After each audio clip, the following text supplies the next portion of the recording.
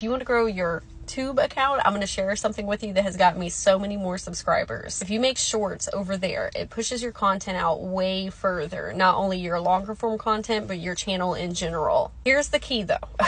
because if you make longer form content like I do, even if it's two or three minutes or an hour long, you got to cut it down to a short. So I cut it down to 60 seconds. I upload the full video and it only allows you to do 60. So in the top left corner, I put full video link in comments. So if somebody piques their interest, they can go there and then be taken to the two, three minute, hour long video. You're watching this and you click on the comments, you see it says full video, and then I have the link, so they click on it and it takes it to the full one. Because I have a newer account over there, some of my videos have a hundred views on them, but if I make a short like this that has a thousand views on it, it shows people more of my content and my account and the views on my other videos and my subscribers have skyrocketed with doing this. Know in the comments if this is a helpful tip for you and remember to follow if you want to see more social media growth tips.